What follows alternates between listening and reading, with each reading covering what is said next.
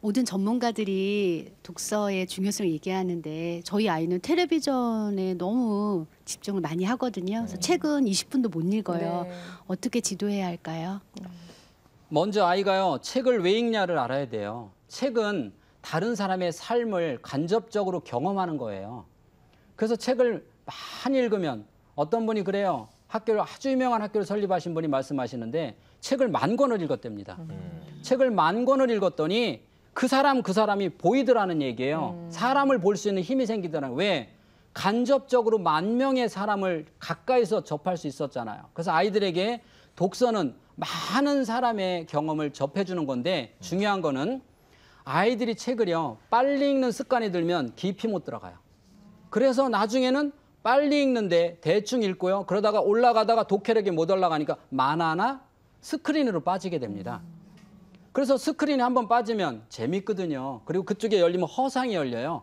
그래서 아이들에게 그러면 조금씩 TV 보는 시간을 줄여볼까요? 컴퓨터를 조금씩 줄여볼까요? 그게 아니에요. 한 3개월만 과감하게 줄이면 새로운 뇌의 섹터가 생겨요. 그래서 어머니는 오늘부터 가시면 3개월만 끊고요. 그 다음에 반드시 책은 처음부터 다시 하세요. 어떻게 해요?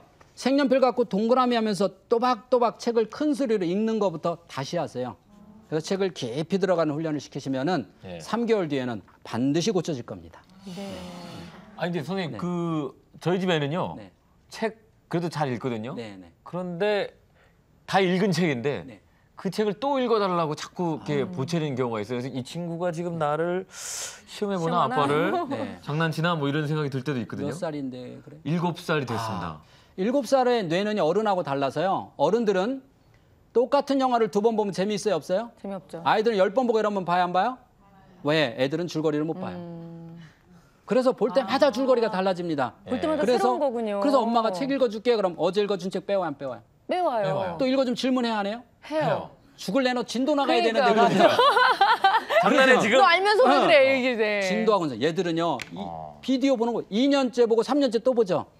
그래서 아이들은 책 한 권 사면요 100번 읽어주는 거예요. 음, 그래요. 이제 이해가 되셨습니까? 네, 아, 예. 그거 괜찮은 거죠. 정상적인 그러면 거죠. 100번을 읽어줘도 또 물어봐요. 아 나 괜히 화냈네.